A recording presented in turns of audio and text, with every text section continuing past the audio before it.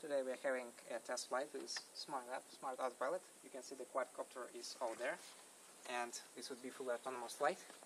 Here we have ground control station, including laptop and transmitter, and here we have our path. You can see it on the screen of the laptop.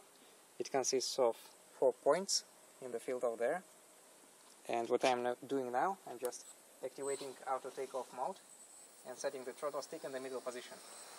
And let's see what will happen the quad takes off and achieving the altitude of 5 meters and after that it's coming to the first waypoint.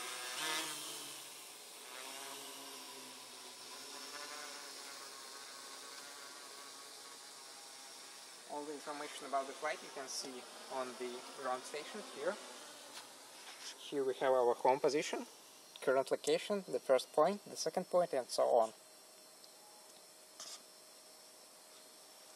It's approaching the first point.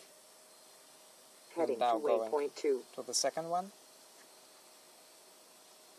During the flight I can just sit here on the branch and enjoy the flight over there, which is fully autonomous.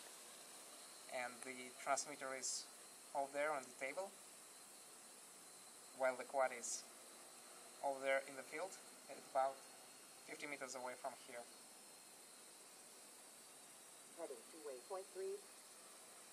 And it's going to the third waypoint right now.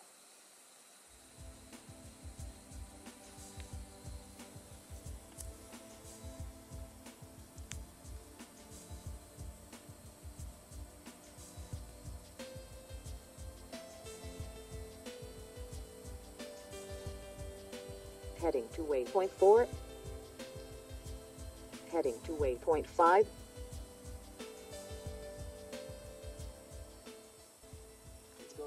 going to the fifth waypoint.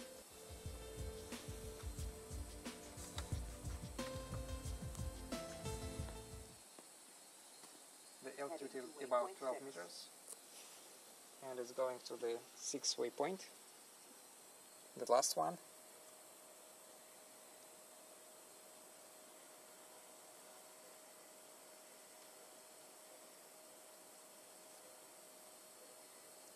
It's approaching and Heading to waypoint home. going to the home position.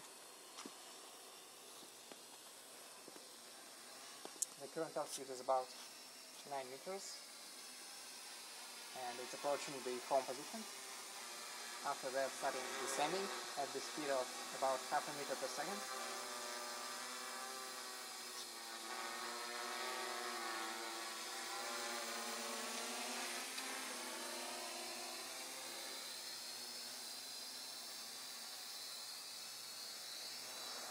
And after touching down it turns off engines automatically.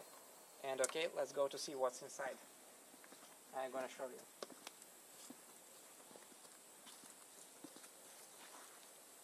So this is our setup.